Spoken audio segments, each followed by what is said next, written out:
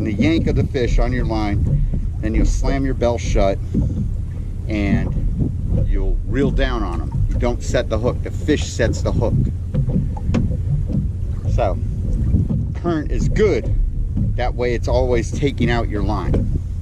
Don't ever feel like you're letting out too much line because it's going out in the current. That's the whole object of it. Yellowtail don't like bait that gets dragged through the water. It looks unnatural. Nope, there we go, we got the hook up. There we go. That's.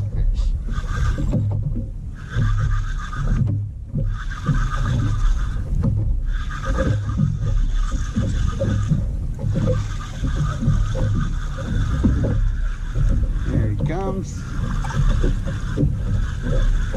Target species acquired. We got the yellowtail. There we go, folks. That's the